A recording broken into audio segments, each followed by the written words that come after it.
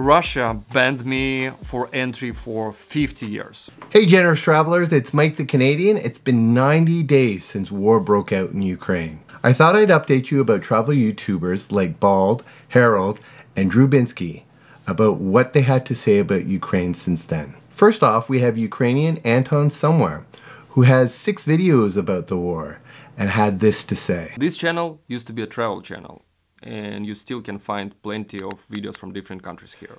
But since the war started in Ukraine, I postponed all my travel videos and I'm trying to show you what's going on here in my country. Therefore, there will be no travel videos until this war is over. His outspokenness has landed him in trouble with the Kremlin. So first is really recent. Uh, two hours ago, before this shooting, Russia banned me for entry for 50 years. I'm almost 38 years old, so uh, I will be allowed to go to Russia when I will be 88. At least it's a good motivation to live a long life. He also speaks about how the war is giving him PTSD-like symptoms. And right now I can feel how this PTSD, post-traumatic stress disorder, is developing in me. I can be easily triggered with just a loud noise of motorbike somewhere in the streets of Kiev.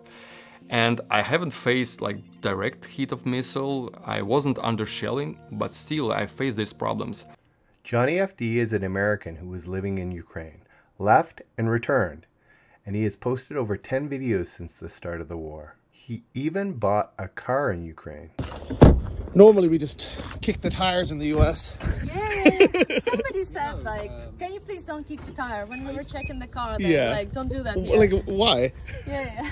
I, I used to, Because it doesn't do anything. Remember when I used to put it? in my, uh, you know, T, you know, like when you put your car advert, Uh-huh. it would be like no tire kickers, please. oh. Again, you have that. Uh, uh, it- it's oh, it's a phrase. It's like phrase, like like no tire kickers, please. yeah, yeah.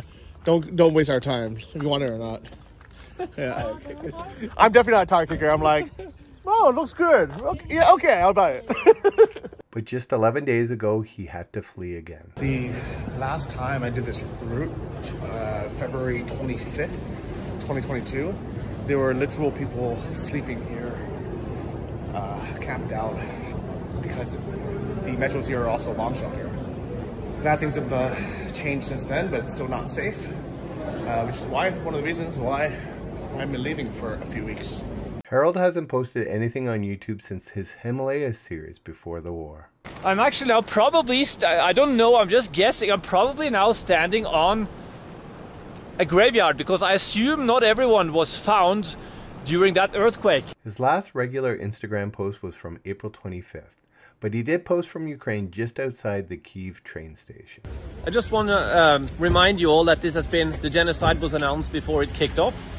Um, those who've been following uh, the profile here have been giving you witness accounts and statements since day one about the massive amount of rapes that are occurring, mass graves, killings, just a pure insanity of uh, Russia's invasion that they are cheering on in stadium events uh, up there in Moscow. Drew Binsky hasn't posted anything since just after the start of the war. um, I feel like I need to, to say something about it because He did post his pre-war Russia videos, which predictably received less views than normal. Siri, how cold is it in Yakutsk? It's negative 33 degrees. Minus 33. This is boiling hot water. Here we go. Went into ice crystals. Bald and Bankrupt has posted nothing since leaving Ukraine at the beginning of the war. Well, it's the 25th of February, about 3.30 in the afternoon, and apparently the Russian tanks are going to enter the centre at any moment. Myself and Johnny are going to head now to the railway station and uh, try and get ourselves out of the city. He has taken the time to visit Syria. Well, walking through this hotel overlooking Maaloula, it just brings home to you the brutality, the horror of the Syrian conflict. Everywhere you look is just bullet wounds, bullet marks. Look, pockmarked walls from shrapnel.